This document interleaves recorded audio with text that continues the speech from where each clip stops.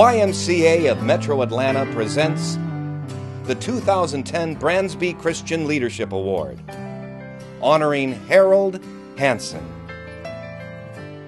When Harald came to Atlanta, he didn't come to be a spectator. He, he jumped right in and got involved with the, the Red Cross, the Paralympics, the Chamber of Commerce, of course, the YMCA.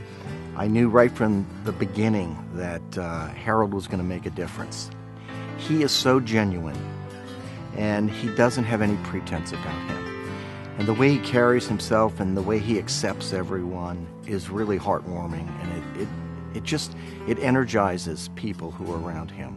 He started the uh, relationship with Tbilisi for the Y, and that was so important. He was instrumental in starting the summer camp for the uh, Youth Olympic Committee up at uh, Berry College in the summer.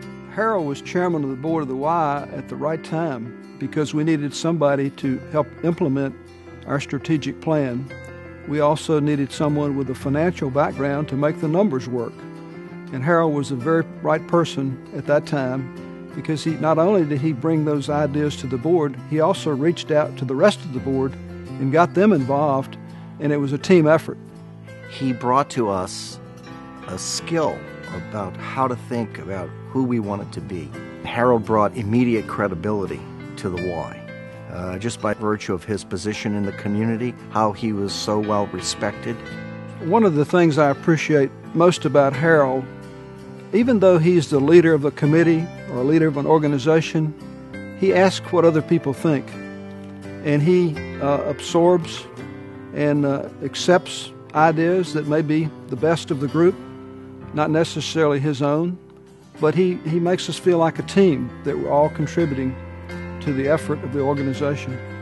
He was the bridge to the future. His handprint is on everything we do, even till today. The processes that he helped us explore, how we organized ourselves from 1989 to today, uh, the way we looked at how the YMCA would meet unmet needs in the community, and what skills that we needed to help solve those problems and meet those challenges. I see so many similarities between Joe Bransby and Harald Hansen. They are both born natural leaders. They both lead by example. They're both strong Christian men. Harald, congratulations on receiving the Bransby Christian Leadership Award. It is well deserved. It's been a privilege to know you and work with you and play with you, and look forward to many more happy days in the future.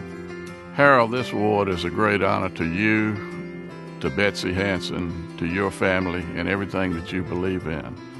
I could not be more thrilled that uh, the YMCA, with Joe Bransby's approval, has awarded you this 2010 Bransby Christian Leadership Award.